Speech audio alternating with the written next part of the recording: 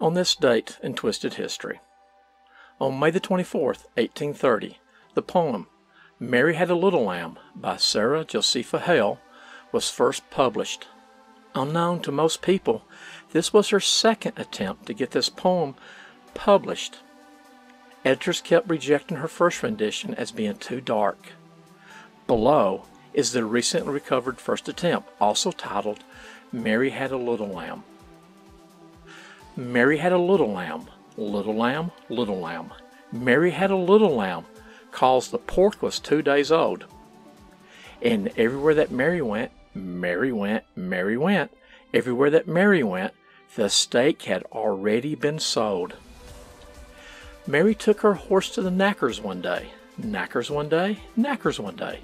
Mary took her old horse to the knackers one day, and they paid her 25 cents per pound. Mary decided to try long pork one night. Long pork one night, long pork one night. Mary decided to try long pork one night with fava beans and a nice Chianti. Mary started selling questionable meat pies the next day, delectable meat pies the next day, savory meat pies the next day. Mary started selling aromatic meat pies the next day, just as Old Man Winters down the street disappeared. The police arrested Mary that week, arrested Mary that week, arrested Mary that week. The constables arrested Mary that week because they found a severed finger in one of the meat pies that Mary had sold.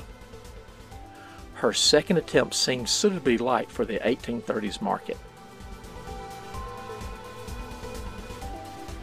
Will God kill a kitten if you don't watch Twisted History? I don't think so, but I wouldn't risk it. Hit like and subscribe and you'll probably save a puppy too.